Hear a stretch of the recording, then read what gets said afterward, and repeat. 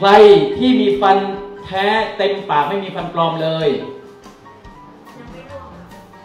ยังไม่ร่วงงานแต่งงานมีอยู่งานหนึ่ง มีคุณตา คุณตาสองคนคุณตาคนหนึ่งมาแต่งแต่งงานงานแต่งงานก็เป็นงานเป็นโต๊ะจีนเขาก็จะเอาอาหารออเดิร์ฟมาก่อนใช่ไหมครับโต๊ะจีนออเดิร์ฟมาก่อนอาหารต่างๆมาก่อนข้าวมาทีหลังบ้านเราเนี่ยต้องกินข้าวก่อนเนาะแล้วของหวานตามมา พี่ผู้ชายท่านหนึ่งอยู่ในวัยเจ็ดสิบกว่านั่งอยู่ ปรากฏว่าอีกท่านหนึ่งเข้ามาด้วย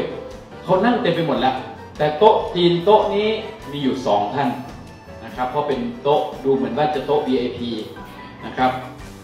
พอเขามาเสิร์ฟพี่คนแรกที่นั่งอยู่นะครับ ในวัย 72 ปีก็นั่งก็เริ่มทาน พี่คนที่สองที่มาอยู่ด้วย ไม่ทาน นั่งนิ่งๆอยู่ ก็อักก็อวดอยู่ ทางนี้ก็เลยบอกว่า ทานข้าวสิครับทำไมไม่ทานทางนี้ เออทานไปเถอะครับ ผมลืมเอาฟันปลอมมาทางนี้ก็บอกว่าอ๋อแล้วครับ ไม่เป็นไรผมมีให้ยืม ให้ยืมปรากฏว่าทางนี้ ขอบคุณมากเลยครับ เป็นพระคุณอย่างสูง ใส่เข้าไป โอ้ย ใหญ่ไปครับ ปากผมเล็ก ไม่เป็นไรผมมีอีกสี่ห้าครั้ง เล็กไปใหญ่ไปมั่งจนกระทั่งพอดี